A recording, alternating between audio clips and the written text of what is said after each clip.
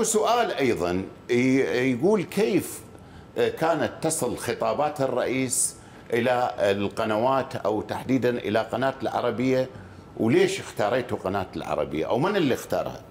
طبعا هل هاي هو الرئيس اختارها؟ نعم الرئيس اختارها. بعد أن سألني قال لي شنو القنوات البارزة اللي سألك الك سألني قال شنو القنوات الموجودة بارزة؟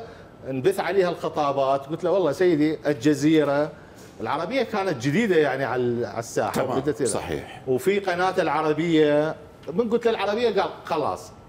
قناه اسمها العربية قلت له نعم سيدي قال خلاص. العربية تبثون خطاب خطاباتنا على العربية لأنه اسمها العربية. زين شلون كانت توصل؟ كانت نعطيها الأشخاص ويتصلون بأي شخص إعلامي موجود بالقناة. يذبون الكاسيت في مكان معين قريب يقولوا له اطلع للمكان هذا تلقى كاسيت خطاب فيطلع هم يختفون باللحظة. ما كان يشوفهم المكتب بغداد يعني نعم، مكتب نعم قناه العربية في نعم بغداد في بغداد, في بغداد.